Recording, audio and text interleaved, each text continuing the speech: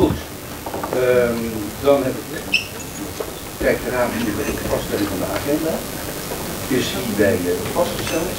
Ehm, ik kan u ook mededelen dat ehm, u uh, camera en dat beeld en geluidsopname gemaakt uh, gaan worden. Daar is toestemming voor uh, en die is ook verleend. Uh, en dat is met name bij de agenda met de hoogte. Dan gaan we naar agenda punt 2, gelegenheid tot het stellen van vragen door het publiek op zaken die niet op de agenda zijn. Ik kijk uh, u uh, aan. Dat is niet het geval. Dat gaat snel vanavond. Dan zijn we bij agenda punt 3, de centrale jongerenvoorzieningen in uh, LCC. Ik heb een vijftal insprekers, mevrouw Oling, de heer Guido Meijer, mevrouw Rozenbrand, de heer Van der Valk en mevrouw Gouweren. Ik stel vast dat dit de vijf insprekers zijn. Die uh, krijgen uiteraard zoals bekend is onderhand moet ik zeggen, uh, rond de vijf minuten tijd om punten te maken waarvoor ze gekomen zijn. Um, wil uh, de, de, raad uh, verzoeken om de verschillende bijdragers van de insprekers te beluisteren. en die bijdragers in de eerste termijn onnodig mee te nemen. Dat zou mijn advies zijn. Mag ik uitnodigen, mevrouw Honing.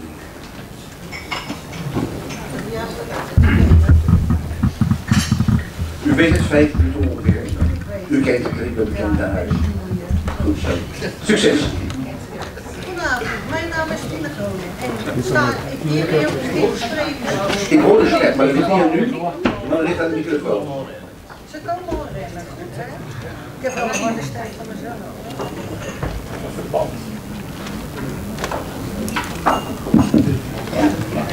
Binnen. Ben ik zo goed zo staan? Ja, hoor. Dank u. Vijf minuten gaan nu pas in, hè?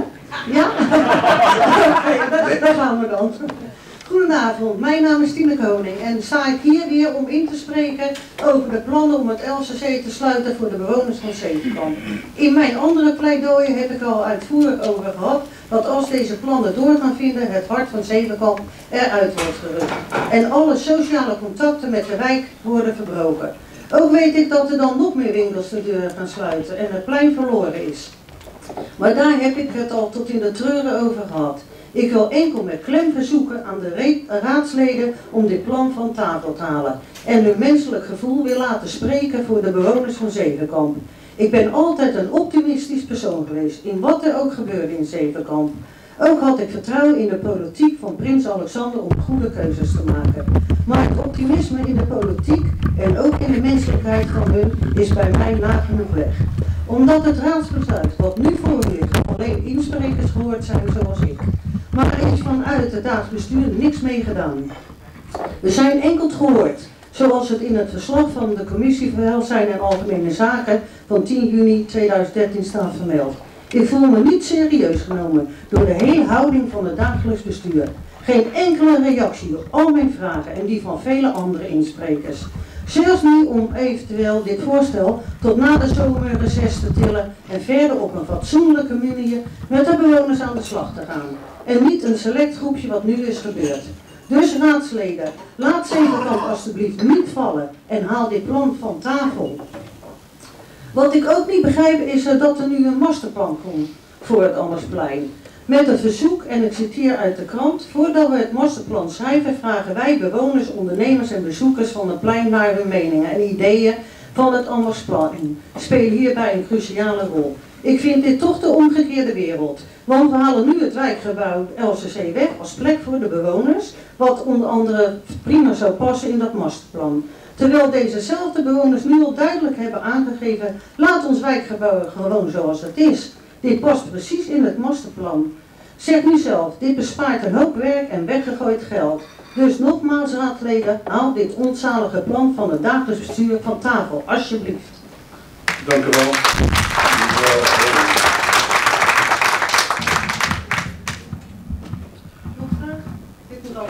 Nee, u mag niet. Nee, rennen keihard weg. U mag nu gewoon rustig en rustig. Dat gaat u goed af. Uh, de heer Lido Meijer, mag u uitnodigen?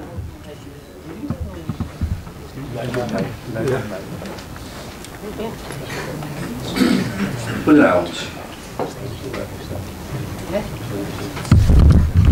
Aan u het woord, succes. Goedenavond. Goedenavond dames en heren. Uh, goedenavond uh, voorzitter en uh, bestuur en deelraadleden. Ik ben Kost Nijlmeijer van de Stichting Natuur, Cultuur en Bewegen. En ik zal u dadelijk uitleggen waarom wij hier zo pleiten voor het openhouden van het ACC voor het algemeen gebruik, dat wil zeggen dus voor gemengd gebruik en niet uitsluitend voor jongeren.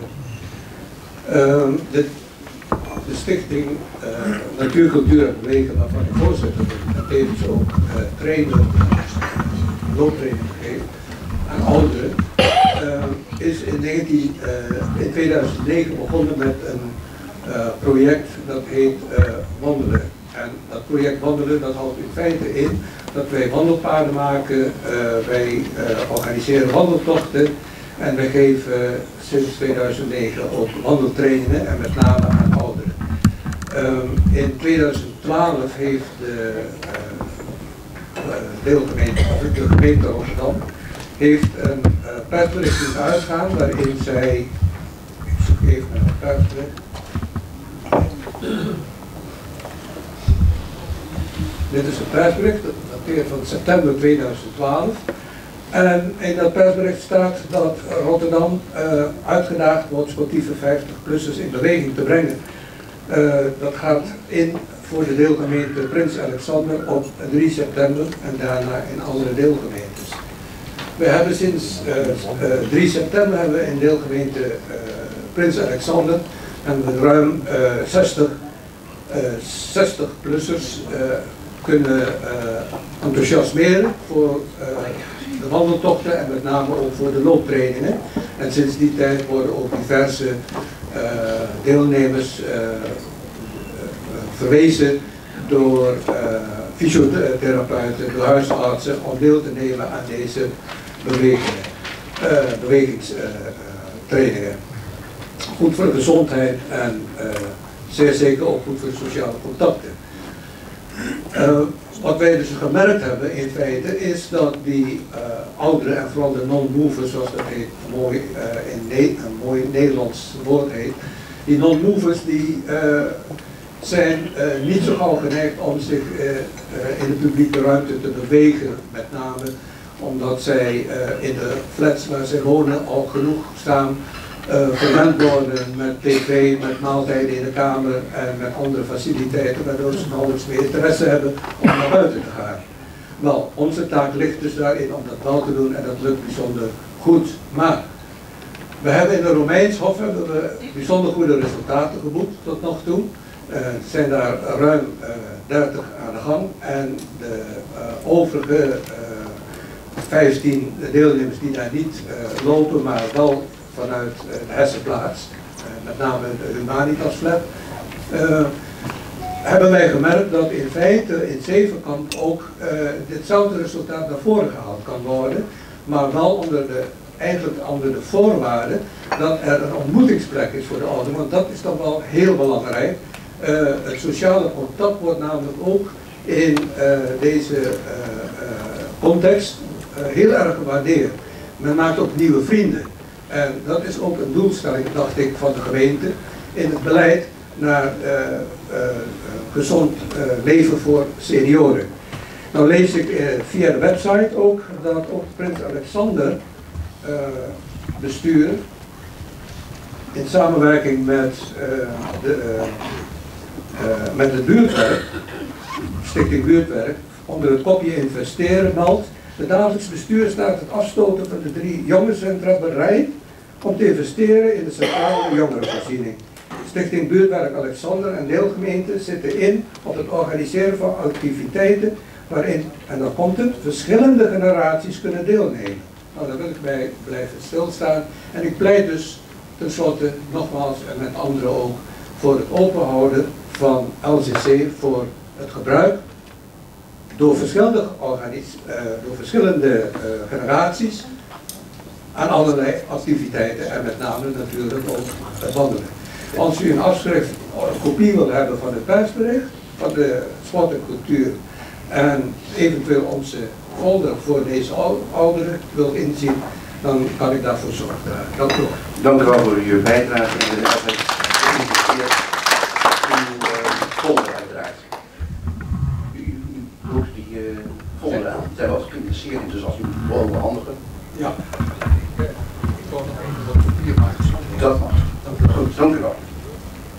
Mevrouw Roos.